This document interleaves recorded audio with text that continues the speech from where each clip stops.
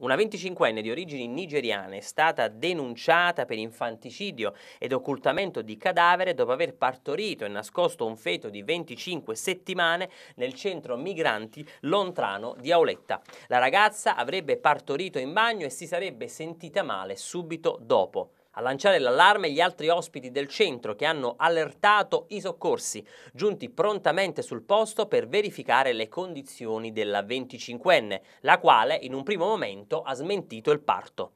Sul posto sono intervenuti anche i carabinieri della compagnia di Sala Consilina che hanno trovato il feto nascosto in un secchio posto all'esterno della struttura. Per tale motivo la donna è stata denunciata per infanticidio ed occultamento di cadavere. Sul feto invece sarà effettuato l'esame autoptico.